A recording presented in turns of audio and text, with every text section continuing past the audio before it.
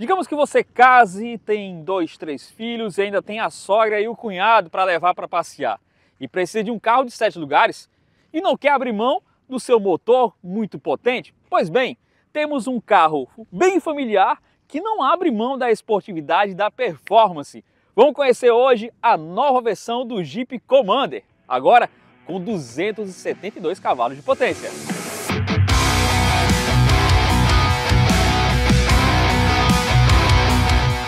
Olha só, claro, tá todo mundo querendo dirigir esse carro e eu também, mas antes disso, vamos aqui conferir as mudanças no visual, que ele ganhou aqui, ó, detalhes em Dark Chromo, que é esse cromado um pouco mais escurecido, você pode também ver a nova grade que ganhou esses elementos na horizontal e também tem uma pegada meio Grand Cherokee, né? Na lateral, a novidade são as novas rodas de 19 polegadas e também esse detalhe com os freios pintados em vermelho, tanto na dianteira quanto na traseira.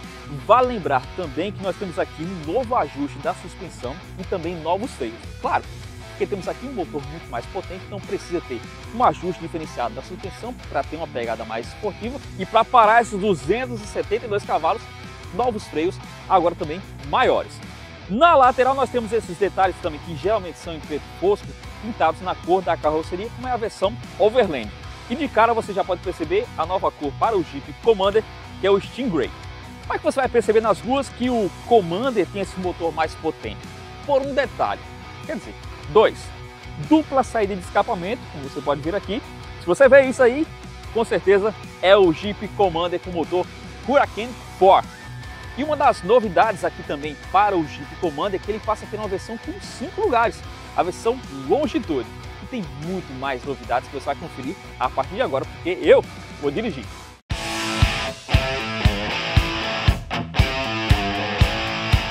E agora estamos iniciando aqui o nosso teste no Jeep Commander Black Hawk.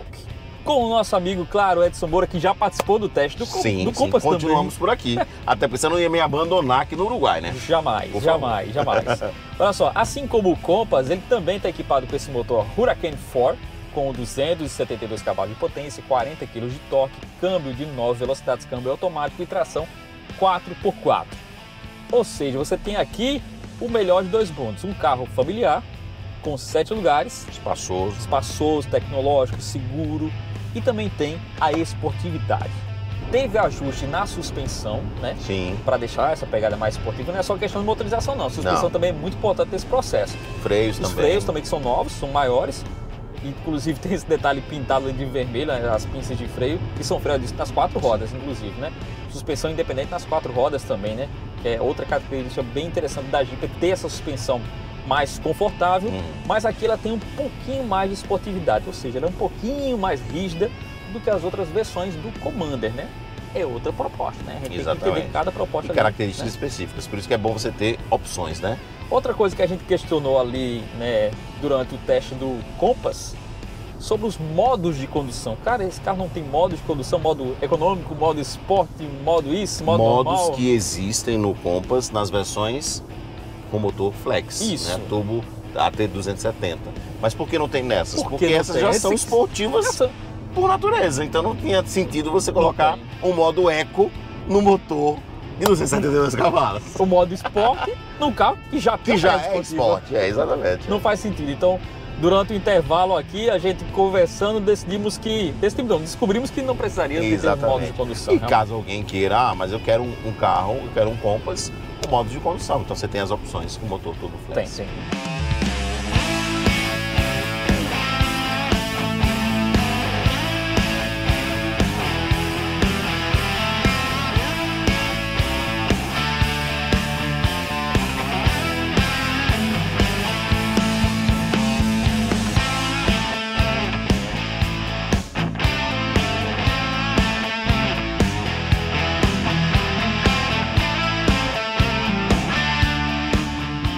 Edson Moura, a gente acabou de testar esse motor também lá no, no Compass e Uhum. sabe que é um motor realmente muito potente. O motor já está presente em outros produtos da marca, mas eu acho que casou muito aqui no Commander. Casou, casou bem e assim, a gente tem, claro, comparando o Compass e o Commander, são, é, são SUVs de categorias diferentes, né? Esse daqui já um SUV maior do tipo D, né? O D SUV. Então você tem um peso maior aqui. Isso. E aí, claro, se você está oferecendo um motor mais potente do que já tem os oferecidos, né? seja o Flex e seja o turbo diesel, você tem uma dirigibilidade ainda melhor no com É, Commander. né? Eu gosto muito do Commander por todo esse seu desenho quadradão, sabe? Uhum. Curto demais. Acho que é, é bem característico do Jeep, né mesmo? Isso. Ter esse desenho mais quadradão. E agora com essa esportividade a mais. Mas vale lembrar também que, ao contrário do que falavam na internet aí, a motorização diesel não vai sair de linha. Não vai sair. Continua com uma versão, mas Que é a continua. Overland Diesel, né?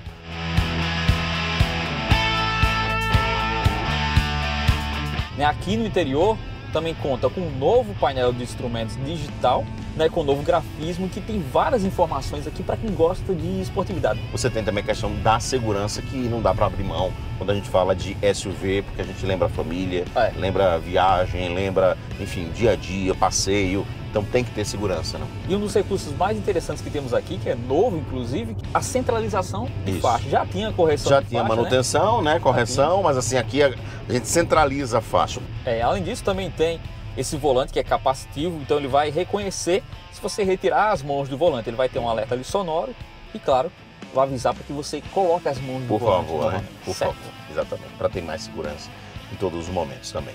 Tem outros recursos como alerta de ponto cego, alerta de tráfego cruzado e também frenagem automática de emergência com detecção de pedestres e ciclistas também. Então é segurança para quem vai aqui e para quem está ali vai do lado de fora também. Sabe outra coisa também que nos dá segurança?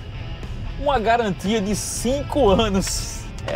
Isso foi bem legal, né? Foi. Aí Eles conseguiram ampliar, inclusive, para todos os modelos fabricados no Brasil, a garantia de 5 anos. Então, Isso é muito bom. Renegade, Compass, Commander, com garantia exatamente aí extra de 5 anos. E o detalhe, não é só para novos veículos que estão sendo vendidos a partir de agora, não.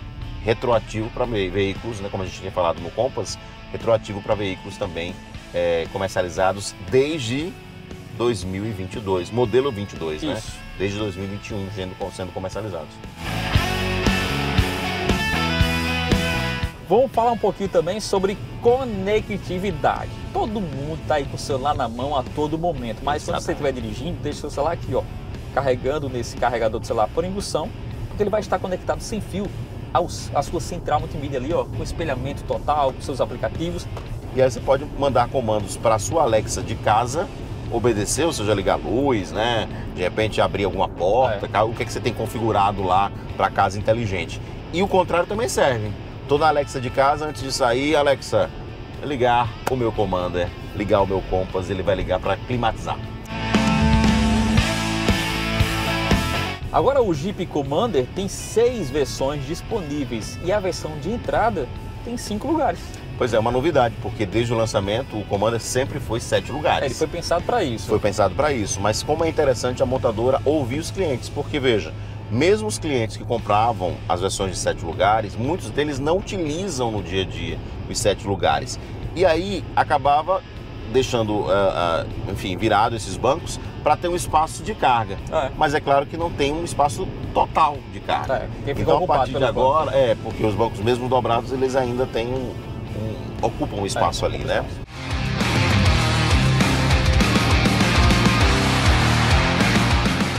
Obrigado pela participação. Estamos sempre juntos, é só chamar que a gente tá por aqui. Com certeza. Eu também estou invadindo lá o Página de Sarau Com Live. certeza. Quase toda semana eu estou por É. lá também. Todos os dias estamos lá no Instagram e também no YouTube. Valeu, fica na paz!